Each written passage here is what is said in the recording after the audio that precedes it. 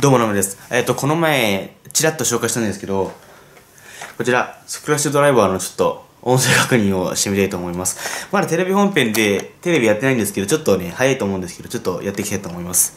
早めに行こう。まず電源入れますね。これ、ここですね。いきます。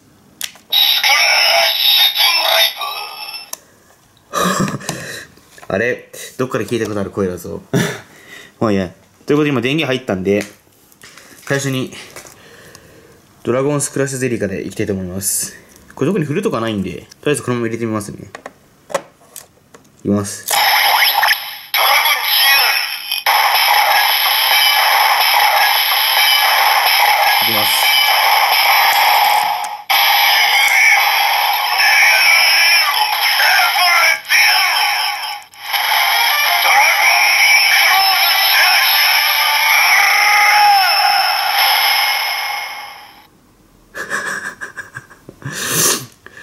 癖が強い。声がすごいです。もう一回やれば必殺技かな。いきます。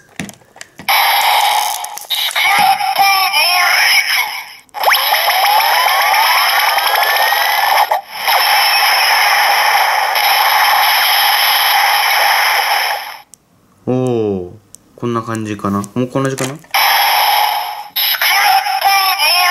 同じだね。よし。よしよしよし。次、ロボットスクラッシュゼリーに行きます。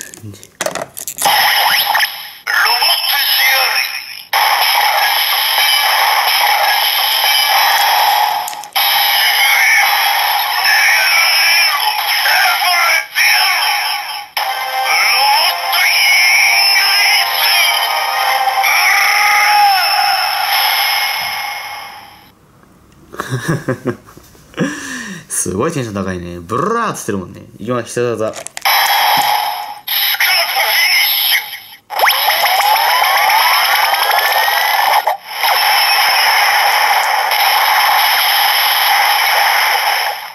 ちょっと必殺技名が違いますね。こんな感じなんだね。ざっくりとした紹介なんですけど。はい、ということで、ちょっと早めの超最速っぽい音声確認だったんですけど、これ確かここにフルボトル入れてこれやると、潰れないっていうらしいんですね、確かね。そう、確か潰れないって言った気がしました。うん。このゼリーは多分、今後も新しいの出るのかな？うん。とは思うんですけど、ガチャガチャとかで出るのかなと思うんですけど、とりあえず今のところこの2つだけですね。というわけで、えー、っと、スクラッシュドライバーの簡単な音声確認の動画でございました。本日も見ていただいてありがとうございました。じゃあ